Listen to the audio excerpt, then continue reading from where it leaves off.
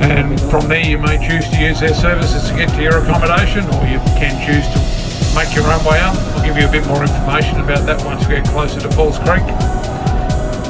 Coaches fit in for seatbelts. It is a requirement seatbelts are worn. If we have any passengers that suffer from motion sickness, best to be towards the front of the coach